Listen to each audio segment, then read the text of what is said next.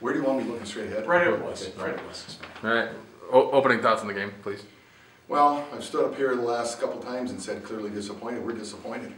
You know, I, I, I respect Parkside. I think they have a very good club. They made plays when they needed to. They made shots. They got stops when they needed to. Uh, but clearly disappointed with our, our efforts as far as turnovers, offensive rebounds again, and you know missing shots that we, we should be making. Is this kind of this game kind of a microcosm of the losses? I mean, It's been, it's been the same thing every, Yeah. every time.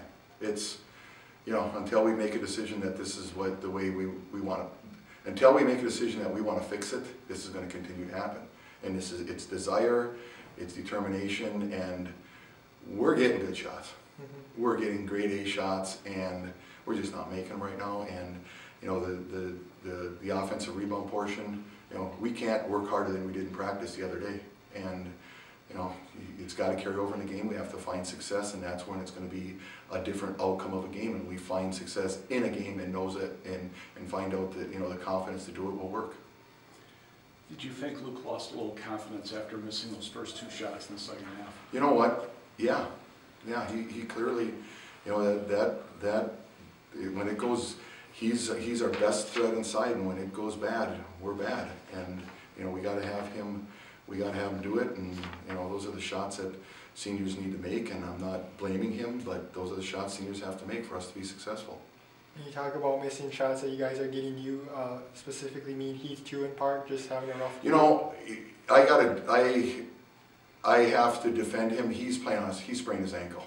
Okay. And, you know, we just don't have a lot of depth right now, and some of his shots, they, they, they weren't the most timely shots, but he's been instructed to shoot when he's open, and that's what he's doing.